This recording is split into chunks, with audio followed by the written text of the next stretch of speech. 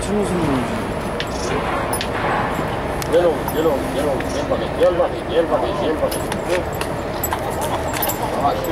찍어 넣어 찍어 넣어 찍어 넣어 얼른 넣어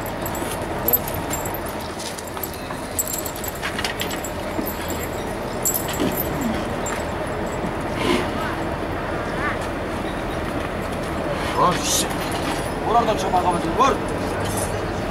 Kaç çomak. Vur, yavaş, yavaş.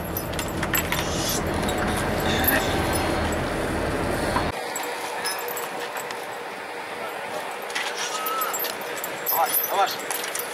Abi çekeyim misin?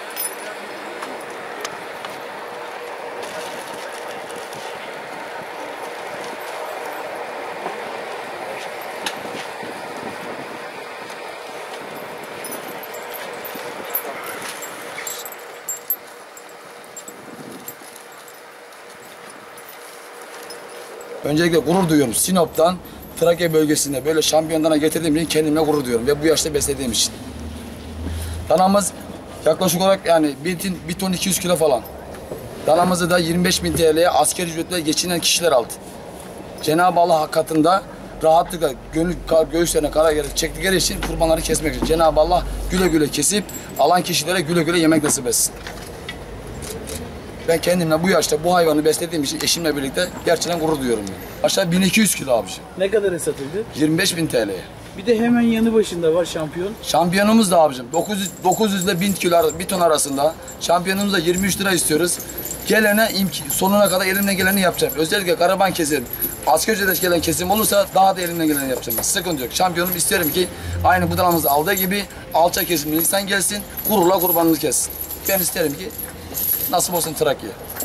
İmkanım biraz daha gücüm olsa paşamı tereddüt etmeden kendim keserim. Kaç senelik? 3 yaşında yaklaşık. Paşam benim 3 yaşında. Bu da yavruyken.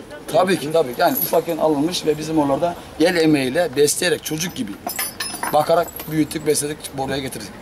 Cenab-ı Allah buralara getirmemiz nasip oldu.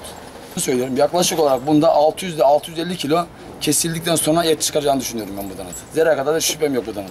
Uzman ekipler söylüyor. Bunun kasabı söylüyor. En uzak kasaplar kesinlikle kolay kolay yanılmaz bu, bu konularda. Çünkü bir kasap bir tane de 50 kilo yanılsa 5 milyar zarar eder. Ben ona inanıyorum. Çünkü ben gururla satıyorum. Alan kişiye de gururla söylüyorum.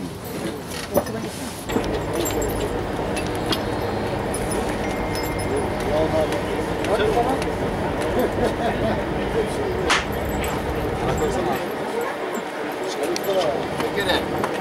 Adama bak adama. Şşş, yavaş. Yavaş. Burada bir şey yok.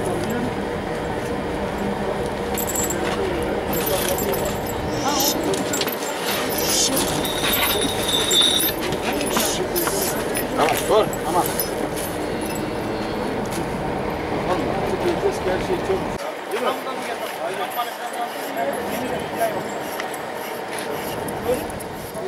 Señora